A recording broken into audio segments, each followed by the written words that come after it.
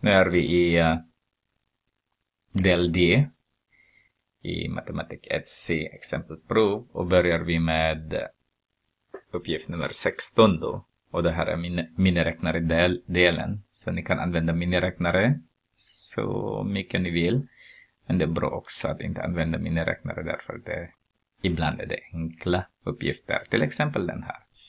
Så har vi här ju ett banklån på 60 000 kronor ska amorteras med samma belopp varje månad under 10 år. Hur mycket ska amorteras varje månad? Ni kan väl skriva 10 multiplicerat med 12 är lika med 120 månader är det.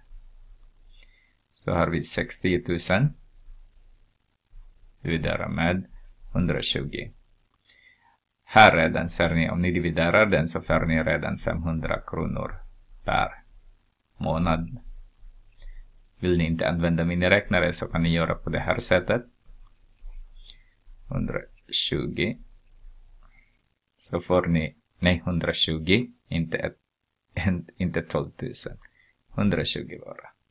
Så om jag ska dividera den här med 3, med den här med 3, så får jag eh, 60 dividerat 60 dividerat med 3, så här är 2.